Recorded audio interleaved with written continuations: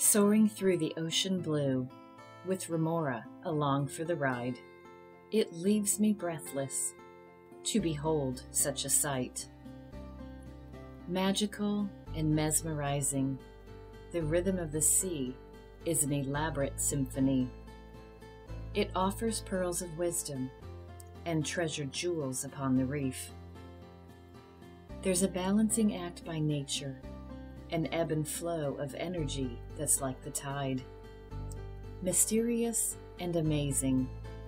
It's a kaleidoscope of life. The sea holds many mysteries. Descend into the depths, explore the coral reefs. It is here where the clownfish lives, amongst the poisonous tentacles of the anemone. It shares its food and keeps the anemone clean in exchange for protection from its enemies. A symbiotic partnership of survival and safety is not only mutually beneficial, it is whimsical and captivating.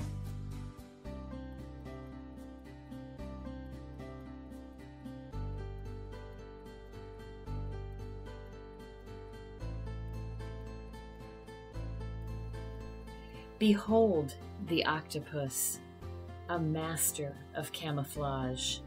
It changes texture and color as it hunts and hides. To see it in action is a wondrous sight.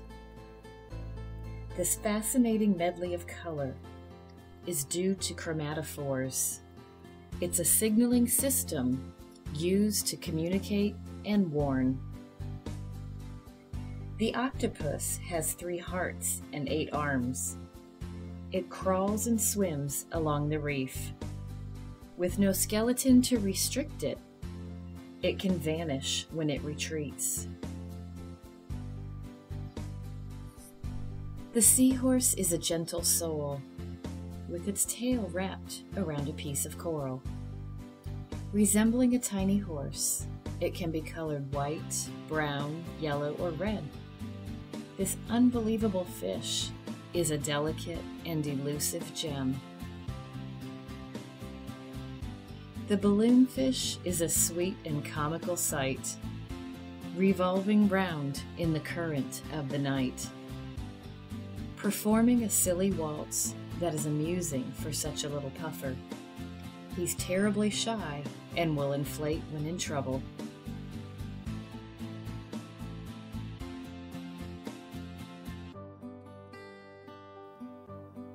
The green moray is actually blue. Its mucus coating gives him his hue. With a mouth that continually gapes open then closes, it appears the eel is ferocious and mean. But this is actually how it breathes. So many creatures inhabit the sea, leaving me enthralled by its endless beauty. And who would think an odd shaped head could make me fall so in love? The ocean is a moving poem. The artistry will inspire and delight. It's an intricate tapestry that's woven by these threads of life.